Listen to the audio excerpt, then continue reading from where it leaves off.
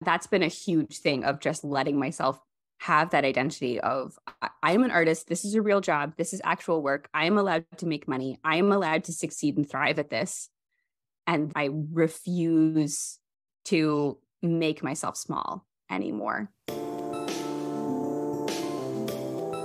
What does it really take to become successful as a writer or artist? There are a lot of destructive myths out there about what a creative career is supposed to look like. We're told we shouldn't care about worldly success or money. We're told that if we're good enough, everything would magically fall into place. That's a lie, and it keeps us struggling, baffled, and hungry for any shred of information that might shed light on how to keep making the work we love. That's why I get any two artists or writers or any creatives really together in a room, and it's a foregone conclusion that the conversation will turn to money and the nitty gritty reality of being a professional creative. I'm cartoonist and creative business coach Jessica Abel. In my own life, those studio visit back channel conversations with other artists where we share our insights and hacks, anxieties and red flags have been critical to any success I've achieved.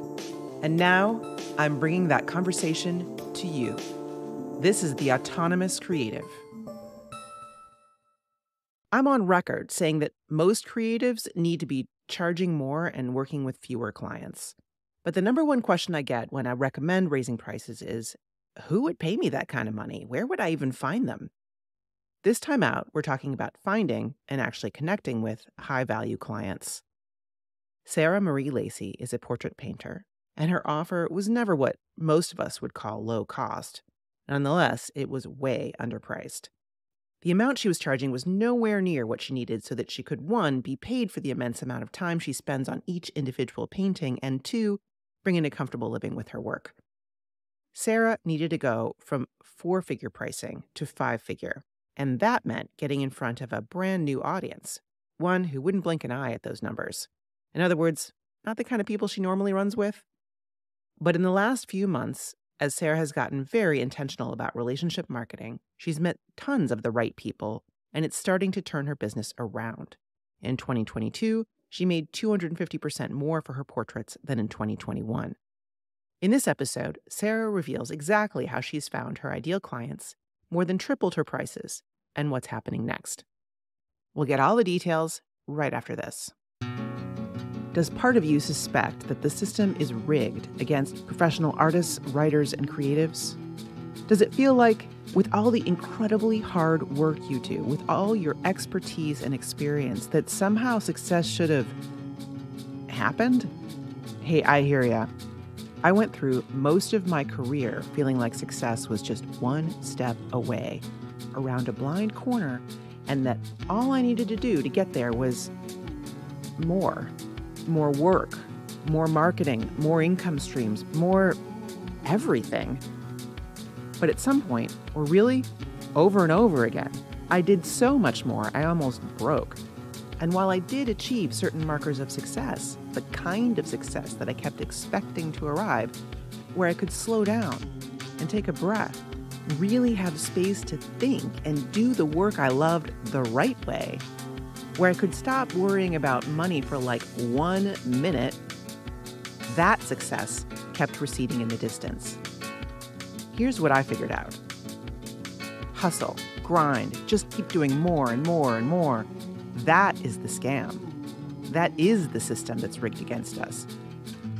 What if everything we're taught in school, everything we absorb from culture about how artists and writers should live, and the tsunami of advice from online marketing celebs about how to make it as a professional creative is just wrong?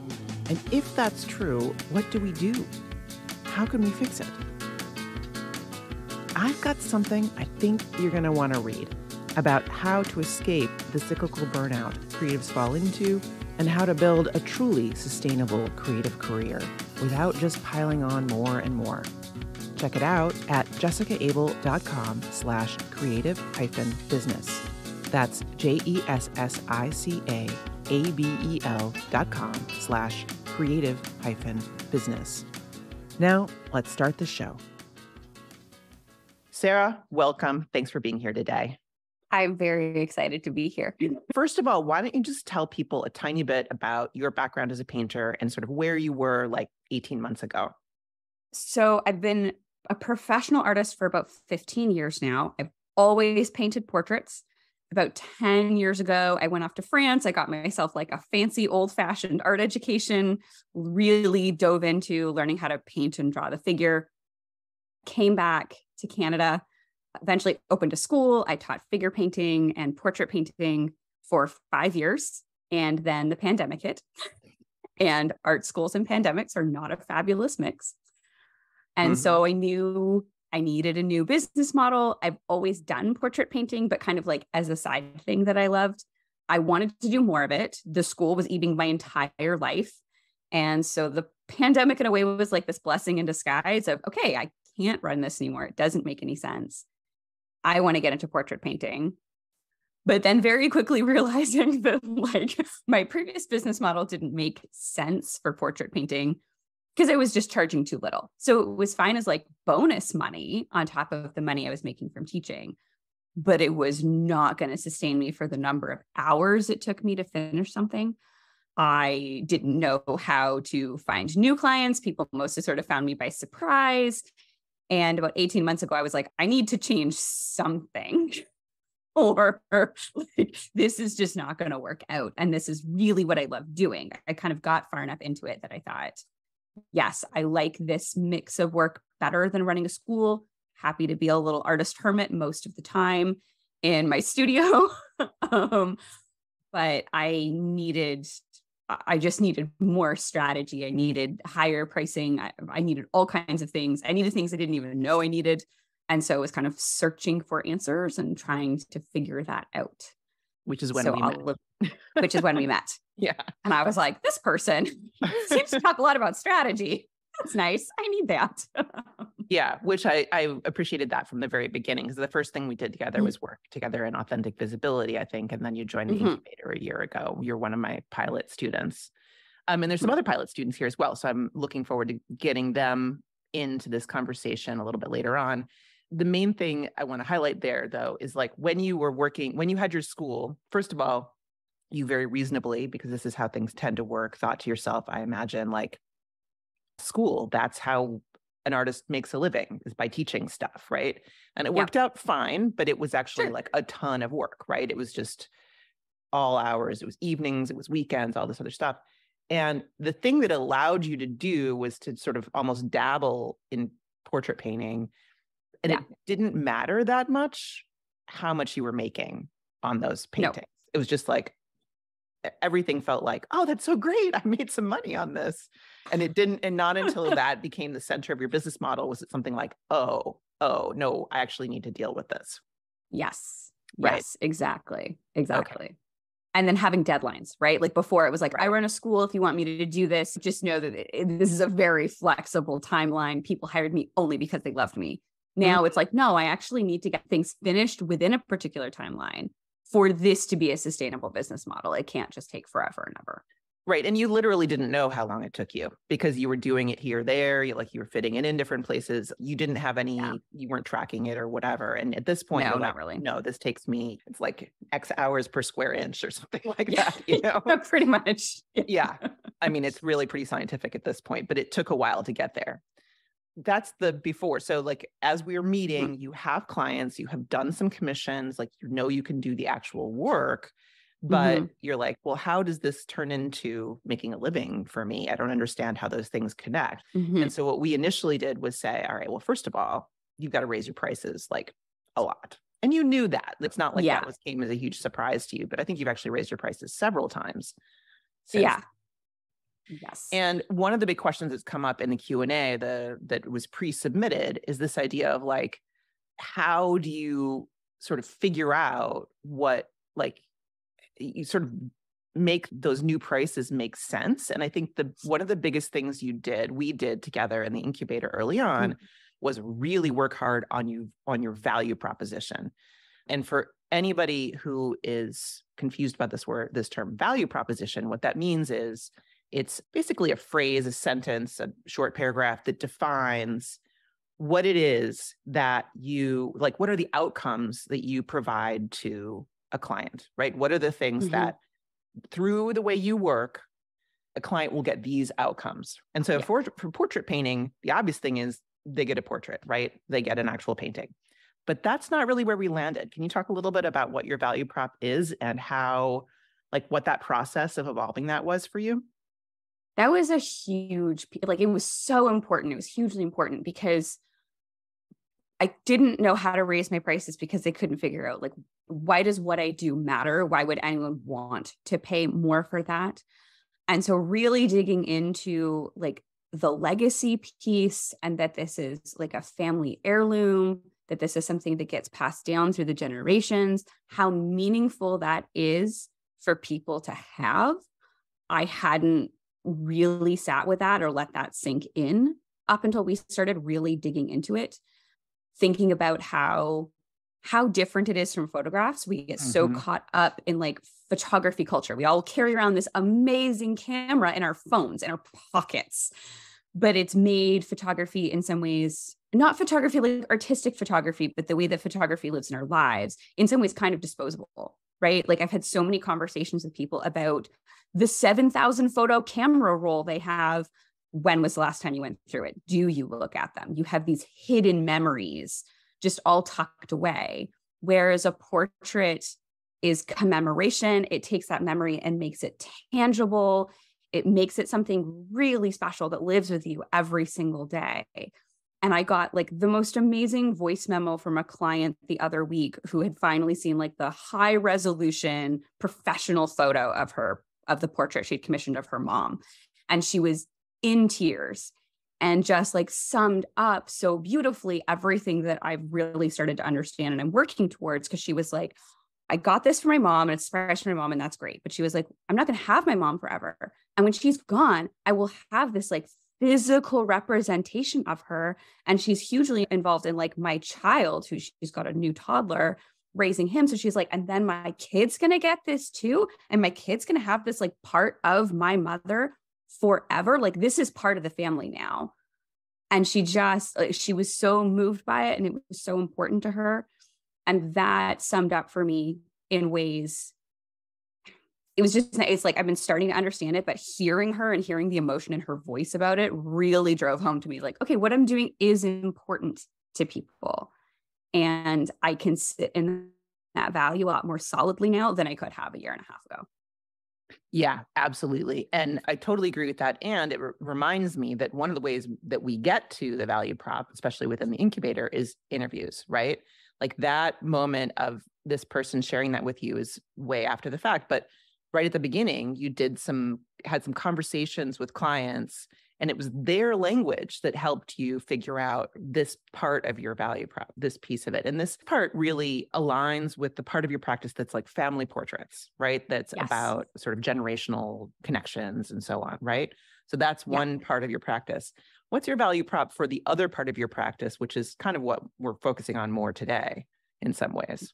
Yeah. So, where I really want to move into is painting portraits of basically women leaders they're super underrepresented in terms of portraiture.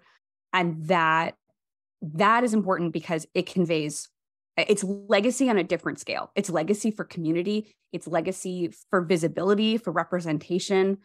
And now i'm losing my words. It's one of those things i'm like so passionate about. I like cannot find the words for it. Um, but that's really where i want to be moving is making pieces that become part of like the broader cultural narrative and change that broader cultural narrative because there are women business leaders but then they're invisible in this sort of like the visual history especially mm-hmm. in canada they're mm-hmm. absolutely mm-hmm. invisible so mm-hmm. changing that and moving into yeah. that space it's so inspiring that piece of it is so inspiring and what's interesting is that piece came from you that didn't really come from interviews and things because you didn't know those people yet.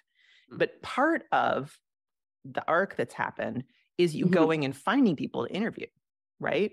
So yeah.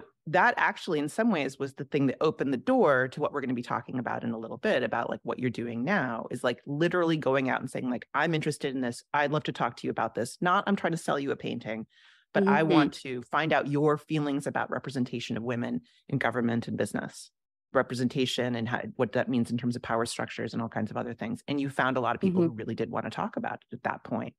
But you had yeah. to you had to sort of start with your own mission. So there's two different things. One came out of like this is from the people who already Mhm. had the portraits and who, the way they felt. And this was like, and this is my interest and passion, which came out Mhm. of your work as an artist, painting portraits not for commissions, but just your own Mhm. body of work of underrepresented people and Mm-hmm. really paying attention to the beauty in everyone. That was like part of your artistic Yeah. vision, is part of your artistic vision as in your private practice. Yes. Mhm. Yes. So finding a way to marry those two things. And then when I started saying to women, like, hey, this is this is what I'm noticing. What do you think? And then they're going, oh, hey, I'd never noticed that before. And I'm starting to have people come back to me and say, like, I've been really thinking about that since our last conversation. Like, I'd never considered this piece before. Mm-hmm. Or last Thursday, I was, we'll get to me in the club, but talking to someone at the club, and she was like, all of the portraits in here are of men. How do we, like, can we get some portraits of women in here? Like, what, what can we Mhm. do? Exactly. Exactly. And once you see that gap, and there's like a huge gap in the market there, you can head right into that gap. And we were talking the other day about the literal halls of power, like how, you Yeah. know, the, the hall is like the hall of power with all the people of power, and they're all men and mostly white men. So trying to change that representation that is that can feel very mission driven and having some sense of like a flag that people can rally around that clients can rally around is so powerful as a value proposition and it's so easy to talk to people when you have that kind of mission because you don't Yeah. have to talk about it in terms of like hey can i sell you a portrait you're talking about hey do we have a shared mission here and that's just going to Mhm. get them interested in working with you without you having to sell anything that's the beauty of Yes. relationship marketing Yes. Yes. Or even just people who are getting on board. They're like, hey, I'm not that person. I'm not the, the person you're looking for, but I so believe in what you're doing. I want to talk you up to everybody who I know who is in that position, which is also really important and helpful. Exactly. Exactly. So that's what's happening at the, this is like now, mm, I would say 10 months ago or something like that. We're working on this value proposition. You're creating language to use both verbally, but also like on a sales page for information and so on. And at the same time, you're doing some portraits. Your first step was to actually go back to existing clients and to your mailing list and say, I'm open for business. Anybody need a portrait, essentially, right? Yep. You didn't have to go to strangers you didn't have to go to people who you didn't know would be supportive but you did have to say hey listen this is happening can you talk to, about that little piece that first step Yeah. I mean, that was scary. I've never gone back to previous clients and been like, hey, could you talk about me to other people? and what I found was interesting is, i mean, most people responded in the like, of course, I will absolutely like mention you to anyone. But I actually ended up getting repeat commissions, which was not even what I was asking for. That I got two more, three more commissions out of that. I had some commissions from people who had been already kind of thinking about it come to fruition just from saying like hey are like are you ready to do this do you actually want to do this can we have a proper conversation about it having that then turn into actual commissions and so in the end like i ended up booking out my whole year of portraits way earlier on than i have ever done before. It was terrifying but worked. I was highly skeptical and then it worked. Yeah. yeah it did work. It worked better than it works for most people. I mean to be totally fair like that doesn't always work to that level. I mean you were just you Yeah. had a lot of pent up desire for what you do and that's fantastic that it did Mhm. work. But one of the downsides of that is you were working with people you'd worked with before and you felt like i need to give them sort of like a alumni price and you kind of underpriced yourself for a while and got yourself into a bit of a pinch right Yeah. So I definitely I priced things higher, but I gave them probably I think it was a 30% discount on my new prices. Turns out one of them could have I didn't know, someone told me later. Absolutely could have paid full price. But let me learn. But yeah, I definitely that was when I realized like, oh, I really really need to put my prices up to five figures to be able to be breaking even unless it's a very small painting that it just takes me so long. The cost of materials has gone up, especially over the last year or so. But it's like it's a hundred hours minimum. There's just no other way around it.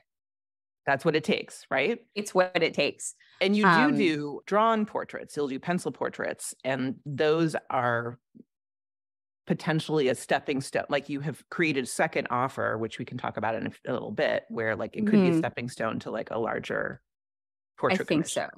Yeah. Yeah. I think that's going to be my entry level. And they're much faster. Like they're three to 20 hours instead of like 100 plus hours. So, exactly. Yeah. Or yeah. that more affordable price point. And you also, you tracked your time and you're like, it is 100 hours. And if it's 100 hours, I know I need to make this amount of money. Like you did the math. You said, like, yeah. this is the amount of money I need to be making. This is the amount of time these things take. This is the amount of time I have in my week. Boom. Mm-hmm. This is the pricing. This is my minimum starting level. Right. Yes. So then you're like, yes. five figures. Where the hell am I going to find those people? So we were brainstorming a lot and I don't necessarily have the answers specifically, especially not in Ottawa. Like where, you know, where are they literally in Ottawa? I don't know. But we yeah. talked a lot about events and parties. I remember you were talking about like yeah. trying to partner with event organizers potentially. And I think you went to a couple events along those lines. Did you not? Something like um, you did demos where, or yeah, where I started was just finding, just going to starting to go to the Board of Trade events. So, like Chamber of Commerce, Board of Trade. Because I thought, okay, if I'm going to meet these people and build an actual relationship where they'd want to work with me, I need to at least like physically show up in the same room. I ended up never quite connecting with an events organizer or anything like that. Any sort of demos I've done were actually invitation through some of the local arts organizations here and that was much more related to my previous teaching career as opposed to to getting portraits but i started planting seeds to do in-person stuff and, and looking into spaces where i could go and do that. But i really my first step was to just like start meeting people outside of my own circle that i knew like who i knew already were not going to get me any further. Like i'd maxed out right. who i knew in the city. How did you pick an event to go to initially? And like how did you approach that? And my first event was like Kismet almost. My best friend is an interior designer in the city. And so she is very plugged into like networking events and stuff like that. And so she forwarded me this email. She was like, Look, like the Board of Trade is hosting a wine, women, and wisdom night. And it's like the CEO of the National Gallery is speaking. And this seems like a place where you could meet some people. And I was like, Yeah, that seems like the thing. It was not a cheap ticket. That was like the most I'd ever spent on anything. Had nothing to wear, literally had to go buy a new wardrobe. I spent a lot of this year improving my wardrobe. and I mean, walked in literally not knowing a soul. I did not know a single person at this event. And I don't know, there's probably, there were 20 tables of eight. All right. So, so it was a lot of you were seated at a table. So you had like sort of an automatic introduction to seven other people. Is that? There was like an hour of networking beforehand. You got your glass of wine or whatever you wanted. And then you'd get sat at your table. And then there would be you'd eat for a bit and network at your table. And then there would be an actual panel with questions and things. So yeah, that first hour was like a little bit nerve wracking but it's not the first time I've walked into a room full of strangers because I have moved a lot and had to like figure out how to make friends with strangers in new cities. Mm-hmm. And my goal is to, my strategy is to always find the other person standing alone. Okay, that's a good one. I like that. Because then you're two people standing together and you look like you know someone. And then you become like the blob and you find all the other people standing alone and you just absorb them into your group. and you stand like a croissant, not like a donut. Okay. I love that. So, because if you're a donut, you're closed off and no one feels like they can come over and talk to you or introduce themselves. And it's a networking event. You were supposed to talk to other people. Whereas if you make sure there's space, sometimes people are walking by, you can catch someone's eye, you can invite them in. I always, especially at like women focused events, I just started by complimenting people. Like if I saw someone wearing a cool pair of earrings, I would just stop and be like, Your earrings are awesome, by the way. Hi, I'm Sarah. I don't know anybody. I was always really upfront that I didn't know anybody. if the will take pity on you. And it, it works. So between like finding other people standing alone and like I have actually built long-term relationships just by finding the other person who's standing alone, being like, hey, I'm also here alone. Like, who do you know? Sometimes they know people who aren't showing up for another half hour. Then you get to meet all those people right? Mm-hmm. And everyone is always grateful if you save them from standing alone. Yes, I love that. Such a good technique. I love it. I'm totally keeping that. The other thing I've heard about networking events in terms of like introducing yourself to people and talking to people in a way that's actually gets a little further is that mm-hmm. if you come up with a sort of opening question that isn't what do you do? Something like, what's the best TV show you've seen in the last month?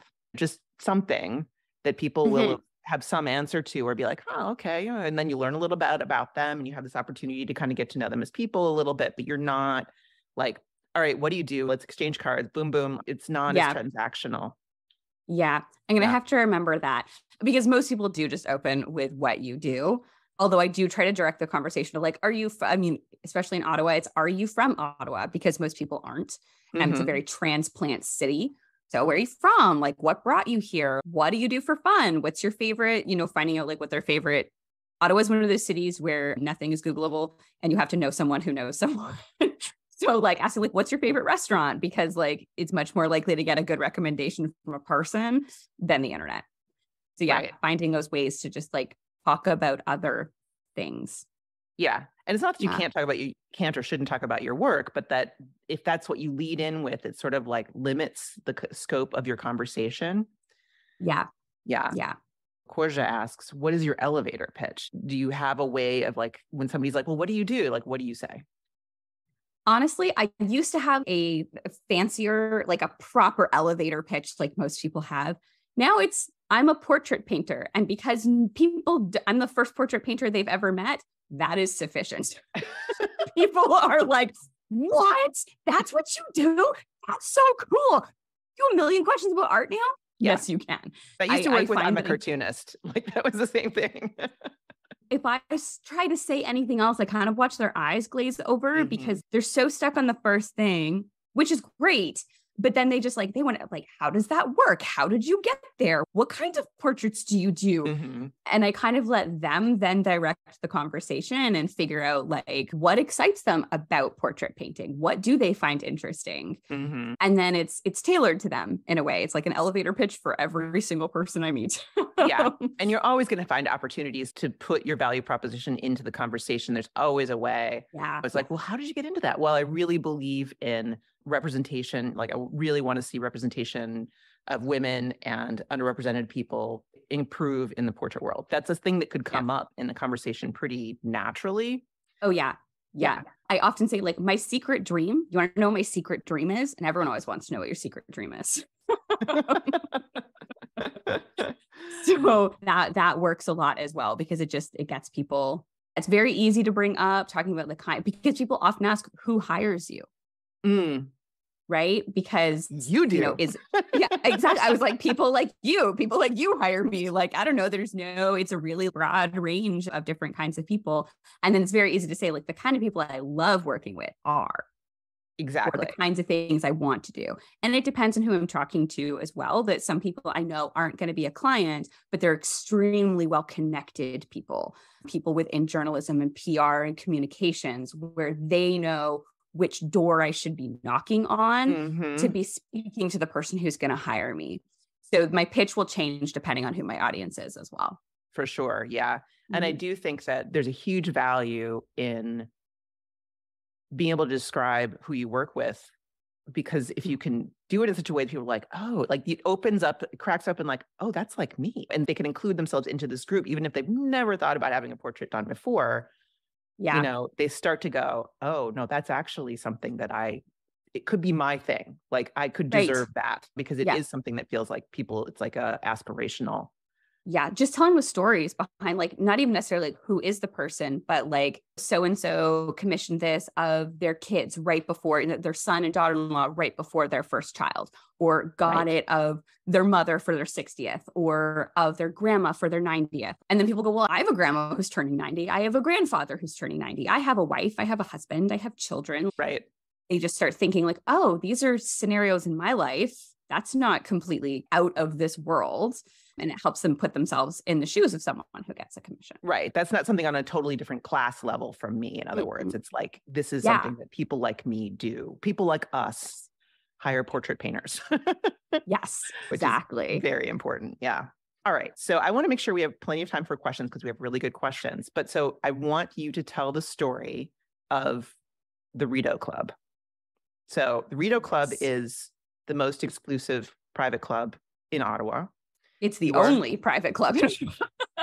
well, by default, then, but it is by default. Club. Like it is a club that you have to yes. pay for membership and you know all this mm-hmm. other stuff. You're now a full member. Yes. This is not something that a year ago was on your radar at all. It was a pipe dream. I knew it existed. I'd been friends with the former master sommelier there, but I was like, mm. whatever. Like that's that's. I could work as a waiter there, I guess. You know, like exactly. like maybe one day I could meet someone who might take me. I don't know who are even the people who go there. So it seemed like a great thing, but I was like, it was a total pipe dream. Could not figure out how to get even get in the door. The very first way that you got in the door, what was that? I had gone to another board of trade networking event. You and I had been having conversations about putting my prices up and finding the right people. And this event, it featured like the CEO of the year. It was a female CEO. I thought, okay, let's go and just start telling people I want high end commissions. Because especially the people who work for the board of trade, they want to help you figure out where you need to be. And so I said this to someone, and she was like, Well, you need to join the Rideau Club. And I was like, That's a nice fantasy. what? How do I even? And she was like, Well, you know, like one of my other board of trade members, one of the other employees here, like she's a member, she could answer questions for you. She points to a woman on the other side of the room, and I was like, Oh, I definitely made friends with her in the alcohol line already. um, cool. I will go and keep talking to her. So I went back and I said, like, hey, like I've been told I should join the Rideau Club. I don't know anything about it. You are apparently a member. Help. like what? Where do we go from here? And she was like, absolutely happy to answer any questions. Connected with her on LinkedIn. And she sent one message like on a Sunday morning, being like, great to meet you. Happy to answer any questions you have. Six hours later, sent a second message saying, actually, I'm hosting an event there tomorrow night. Do you want to come? Sure, gonna need to buy new shoes though, um, because there's a dress code, and my shoes do not fit that dress code. so went the next evening. It was a fairly small event. We had a municipal, so it was like a municipal election watch party, and I went over to to speak to her, and she was like, "Right, well, I'm actually running this event. I can't release it and talk to you. Here's some people." like threw me into the deep end. But it was the friendliest group of women. I could not get over it. They all like came over and introduced themselves to me. They were like, "Oh, we don't recognize you. You're new here. What do you do?" So excited that I was a portrait painter. One woman who is the most well-connected woman I think in, in all of Ottawa grabbed my arm and was like, "You're not a member and you don't have a drink. Come with me." Stuck me on her tab for the night started introducing people to me, just started being like, this is a portrait painter. You should hire her. And I was like, you haven't even seen my work yet. okay, thanks. She was, is the kind of person who is trying to lift up everybody around her. And that was that was the beginning of a whirlwind. I started getting comped tickets to other events because people had met me and they were like, cool, you're a portrait painter. You should come to this lunch at the Chateau Laurier ballroom on Friday. I'll comp you a ticket. Okay, sure had to buy more clothes. Um, ongoing theme is, oh my God, I can't wear the same thing every single time. Someone is going to start noticing, kind of need to buy some more clothes. It evolved from there, but there did reach that certain point where I had to decide, like, am I joining or what? And I'm under 40. So they have under 40 pricing at the club. It was a lot more affordable, not cheap, more affordable and there's like an entry fee like it it was a big investment. And it's it's a 2 month process to become a member because you have to get through like five rounds of approval. So i started at the end of at the beginning of december and i finally got approved like last friday. There's like a lunch. They're like you get vetted by people. And it, it was a whole thing. And it was really scary making that decision I will not pretend that I like walked into that bravely. I spent probably three weeks waffling over it between like the beginning of November and then like actually pulling the trigger and saying, okay, like let's book this. I had to accept help from people. Like, I won't lie, my dad stepped up and was like, I can help you with some of that because this seems like a good step for your career. and then figured out how to finance the rest of it myself. They let you pay monthly. God bless them. that helps. But also weighing the pros and cons that like the alternative was advertising in the like local luxury magazine. There's sort of like a high end magazine. One quarter page ad is almost $2,000. That is Mhm. comparable to a membership. So I thought, okay, this is going to actually get me in the room. And I've committed to two years there before I decide whether this is working or not. Because I have a really long sales cycle. My sales cycle is like six to 12 months between meeting someone and then hiring me. So I'm giving myself lots of time to make Mhm. connections and to be in the room over and over and over again.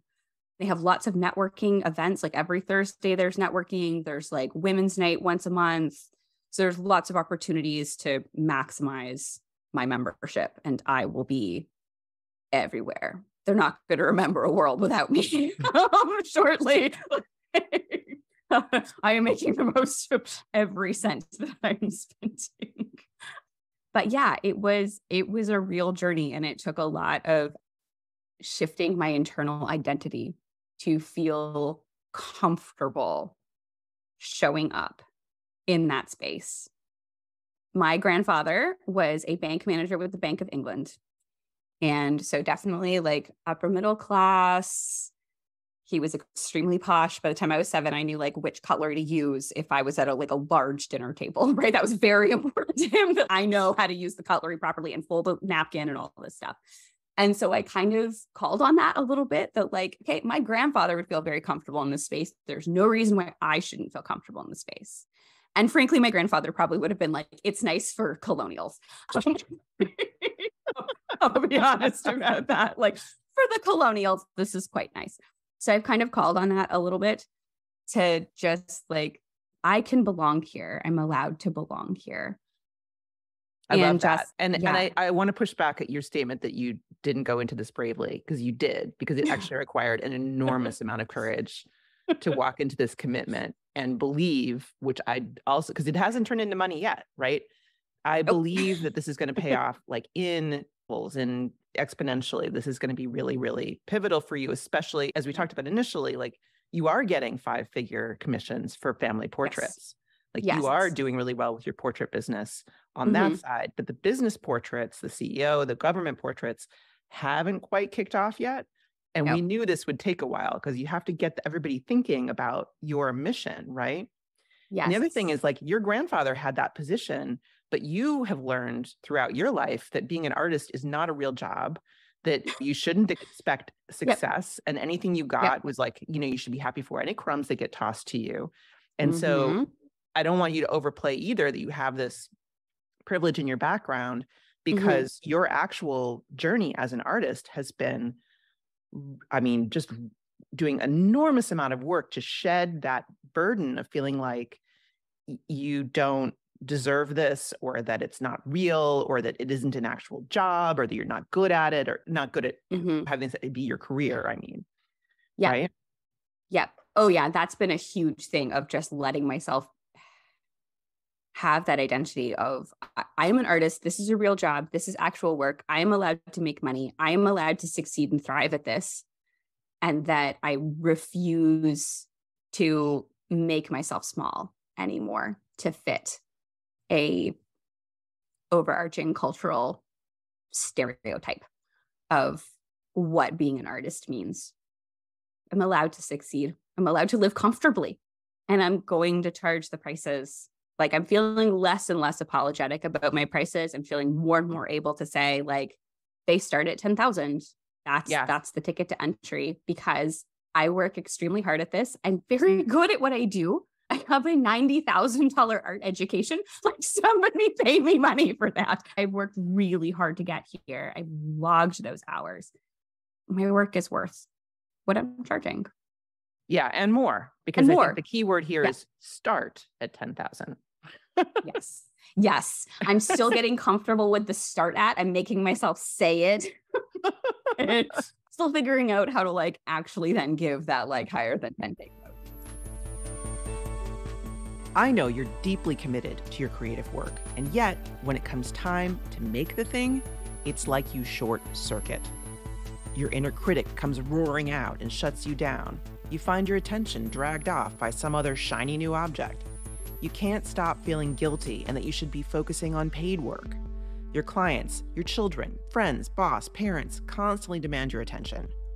Here's the thing there is nothing wrong with you. There's just a breakdown somewhere in your creative engine, and you can repair it.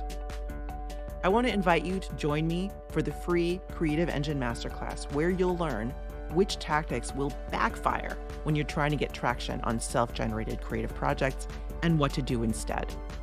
The four essential phases of the creative process you must implement to produce awesome work reliably, and you're probably skipping at least one.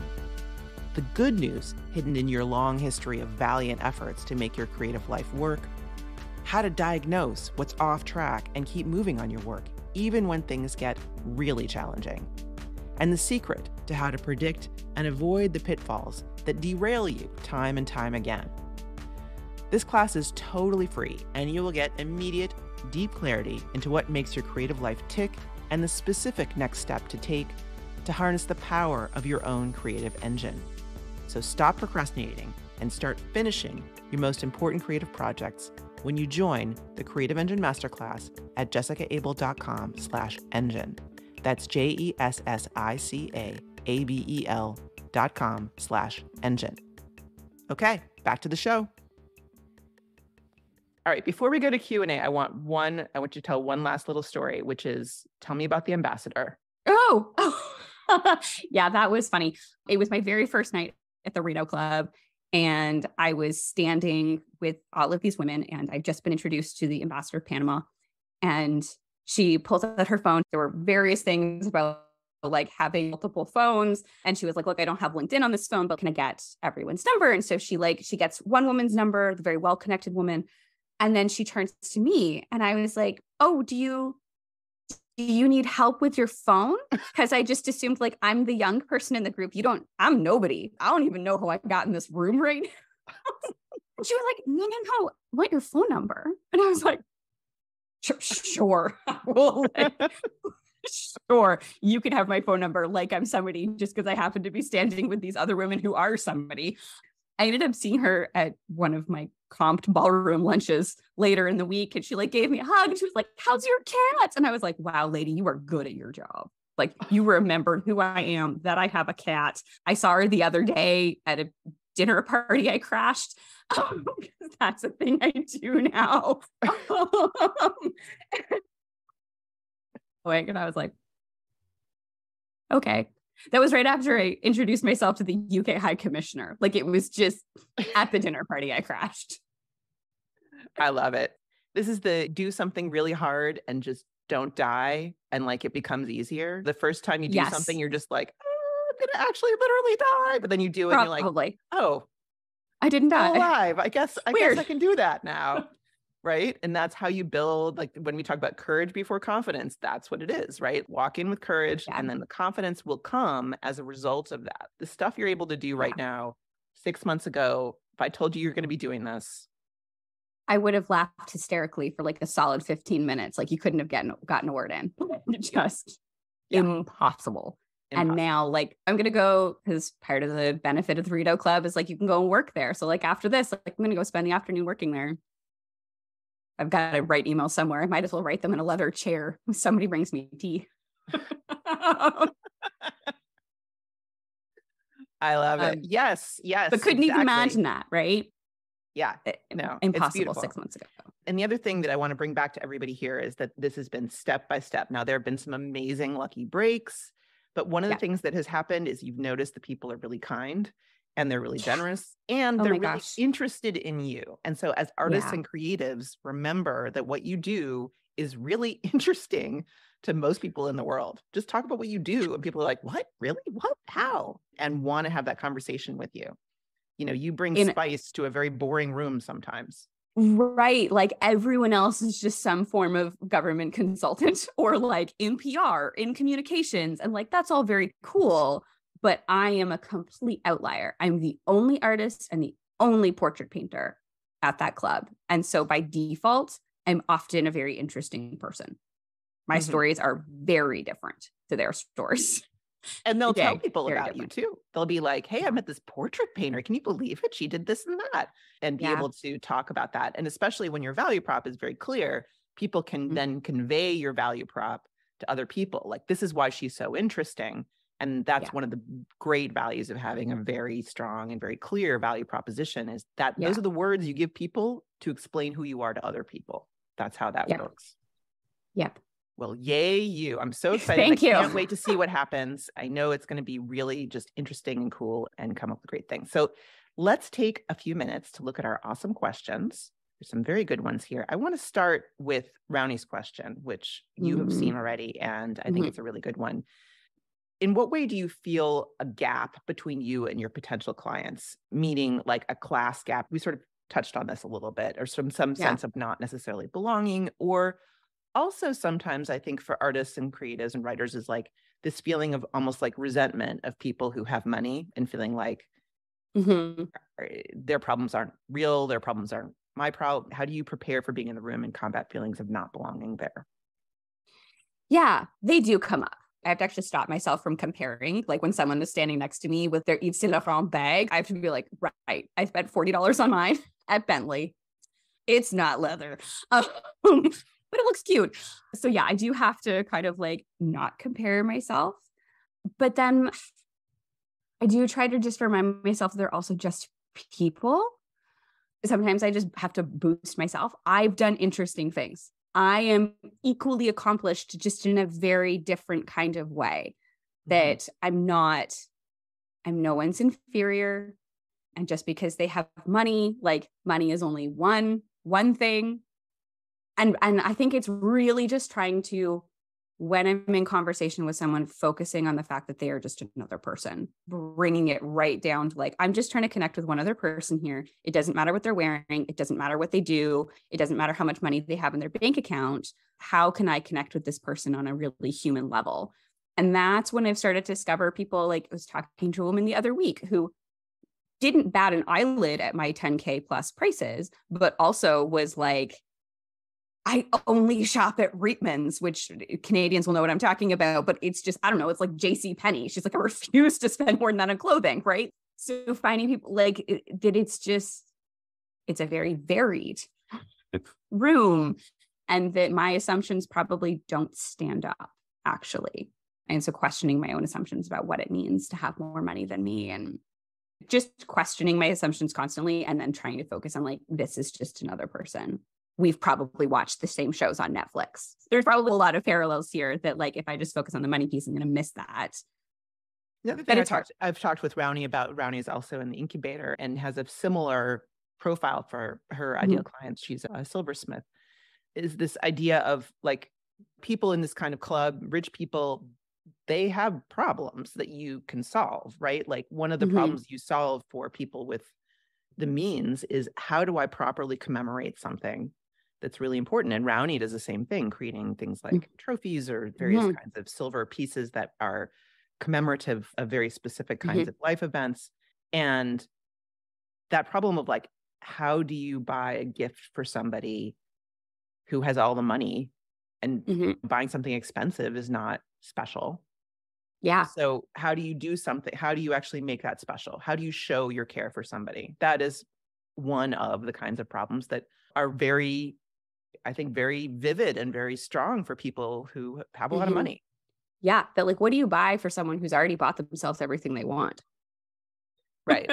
and, and, most can. people and can't, and most yeah. people won't commission a portrait of themselves but mm-hmm. are always delighted when someone else commissions a portrait of them because yeah. it's like you're saying i believe you're i believe you are art i believe you are worthy of being art hard to top that as a compliment and a gift so, yeah. yeah, it does solve yeah. that problem. Meaningful right. gift giving.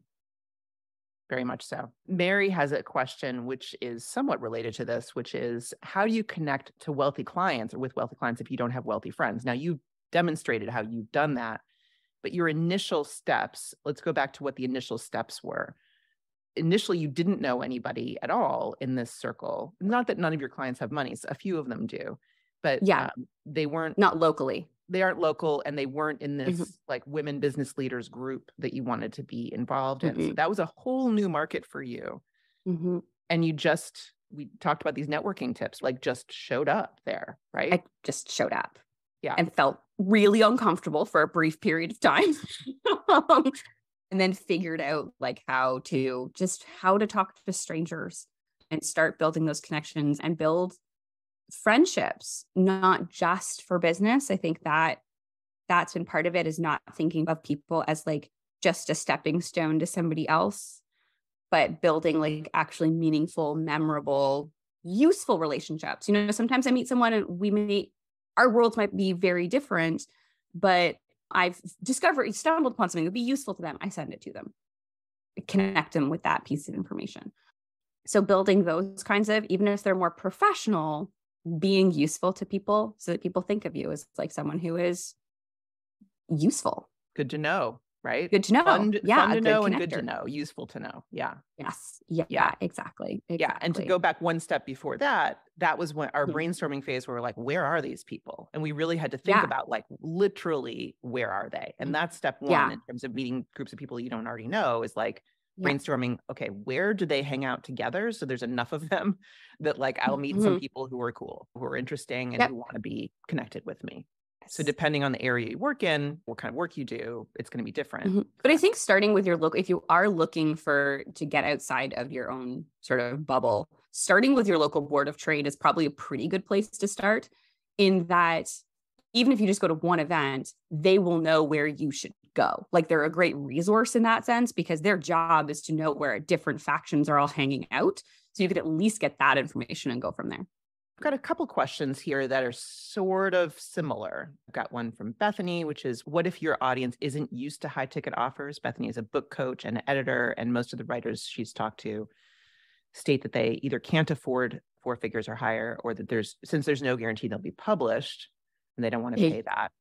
And then I have another question from, let's see, Mary How do I get high paying ghostwriting gigs? And Jennifer about getting higher end wedding photography. So the answer for all of Mm. these is your value prop, basically. Going through that process of really figuring it out. So like if you have clients who are like, what I want is to be published, and you can't, I mean, nobody can guarantee publishing unless you're a publisher, right? That's not something that you can promise as an outcome.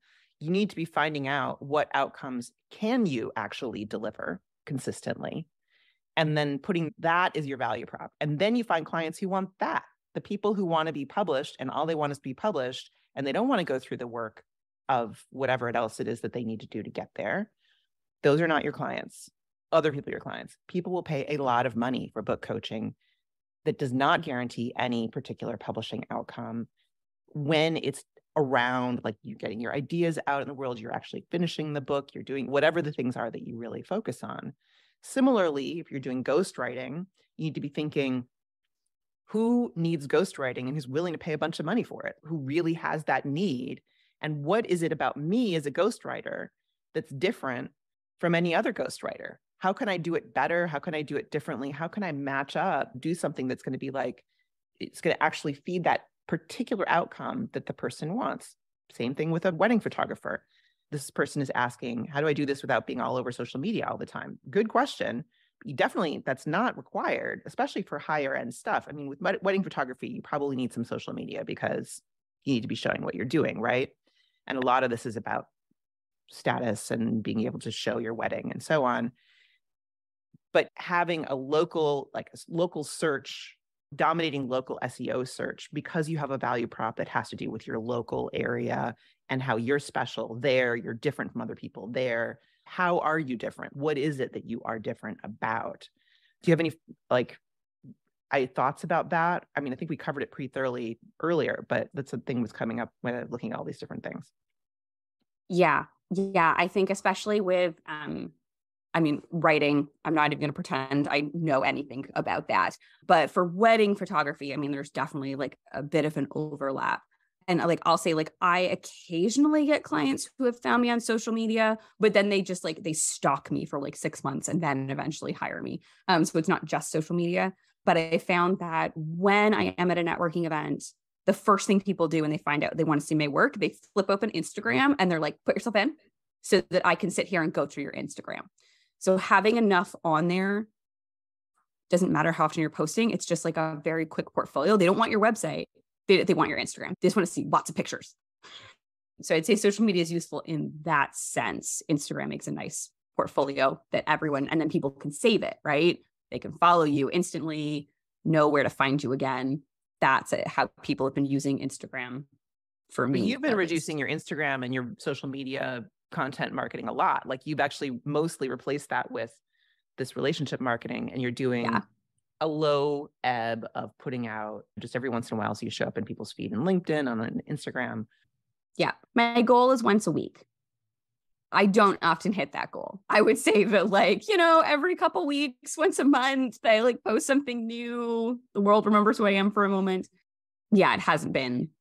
No one's paying me $10,000 off of Instagram, really. That's the end of the story. Yeah. And yeah. they, again, they may need to go to Instagram to go like, oh, this is what I would be getting if I paid $10,000. But they don't need like, yes. it's not a sales technique. It's a sort of research Resource. Yeah, they use it as research. They use it as a quick way to go through my portfolio to see what uh-huh. the process is like. So we're going to do, I think, two more questions if you have time.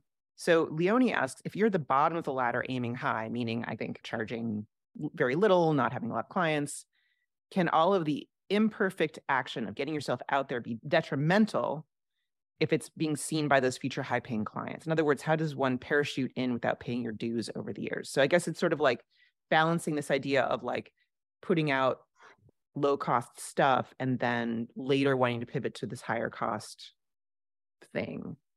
Sort of an interesting question. Yeah, I always find that one really tricky because it is really hard to like just walk in the door with a very uh, with a small portfolio and just getting started and be like, now pay me $15,000. That's hard. Maybe finding ways to start doing portraits that take you less time. So you can charge less to build up a portfolio. And like it does, it does start to grow naturally though. I will say that, that like my prices have gone up over the years without me even trying to actively strategically do that. People are happy to pay more. Even like people who have started with me at the beginning have grown to a certain extent with my higher prices. I have now made a leap where, like, yes, a lot of my previous audience can't afford me. And I, I, knew that that was going to happen. And I consciously made that choice. But I think there, see if there's a way to like make a smaller version of what you want to do that doesn't take you as much time. Your materials are cheaper. You can charge a more entry level, not cheap, but like affordable, more entry level price point. And mm-hmm. then see how you can grow that from there. I used to do much smaller pieces. Like my initial portraits were much smaller and took me way less time to do. Yeah, I think that's yeah. right. I think that if we, when you're starting out, going towards a higher end offer, and this is a couple people ask questions about like, how do you get to this higher end offer? How do you do this pricing thing? Like you do start with what we do in the incubators, we call it the MVP, the minimum viable product. And you start with something that's essentially a pilot. You start with something that you're testing the market, you're testing mm-hmm. the language you're using, the value proposition, is it compelling? You're doing a little bit of putting your toes in the water and also getting getting testimonials, getting information so that then you can yeah. kind of look at this and say like is this working for me in this way? For the most part, mm-hmm. you get to the end of that and you're like, I need to double my prices. That's mostly yeah. what happens then. But I, I've also talked to people who are earlier in their career, they don't have a lot of track record. Getting some sort of a few pilot clients through your process Mm-hmm. using their testimonials, their referrals to grow from there. It's okay to be undercharging for a while as long as you recognize that and you're willing to double, triple your prices later on when you have mm-hmm. the track record that you can stand on, essentially. Yeah. And one piece of advice I've heard from a lot of other painters and portrait painters is do do a couple at one price range and then like the next few put it up like 10 or 15% and see how that works. And then like the next couple put that price up 10 or 15%. It'll get you to grow in like a, a more manageable way at the beginning as you're testing everything out and building out that portfolio because you do need to have like I would say at least 10 pieces saying like I can do this consistently. Here's a variety of what I can do. Right. So and let me gotta find a way translate this also to other media because it's not, this is very true. Also, Mm. if you're offering services of some kind, you need some results. You need to show that you can actually produce the outcomes that you're talking about in your value prop somehow. So you need some clients to run through your process. And if you have need to knock down your prices and do a pilot for a while to get a few people through, that's fine. It's fine. I mean, it can be hard to manage in terms of time and having enough money coming in, but it's fine. One danger of doing the 10 to 15% increases is if you start at like Mm. $500, you're going to be at like $700 in four years, right? You have to at some point look at it holistically and say, what does this really need to be? And not be afraid to make really large jumps. And we, we Mhm. talked to you about the idea of like with people who worked with you before, you might give them a little bit of a break, but Mhm. only to a certain point, because at some point it's going to hurt your ability to make a living.